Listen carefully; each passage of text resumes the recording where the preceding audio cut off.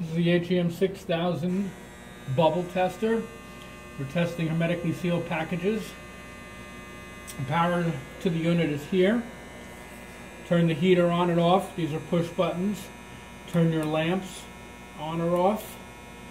As you can see, I've got it uh, filled to the proper level with FC40. We're controlling at 125 degrees. It has a built-in filter for removing particulate. I'll do that once once I go through the rest of it just to show you that it works. Uh, it's got uh, alarm modes here. These are indicator lamps. And then to start your test, you have a choice of either 30 or 60 seconds. So I'm going to run a 30 second test. You start the test here. Uh, if you're not familiar with the way this works, you would be lowering a sample on a tray and then you would watch to see if there's bubbles. It does not detect the actual bubbles.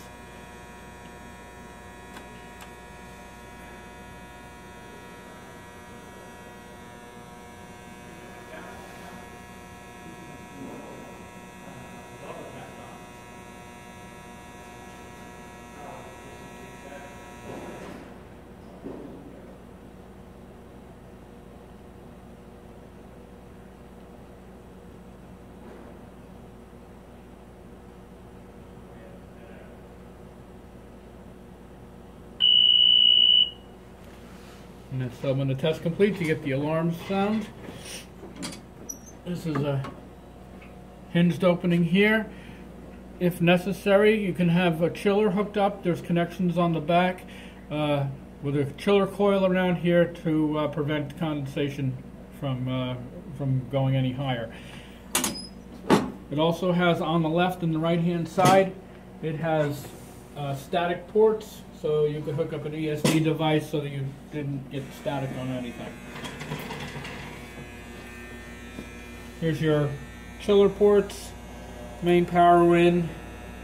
If you had the optional foot pedal up there, if you do hook up a chiller, you could connect it to this port, it's fused, and then your drain plug is here.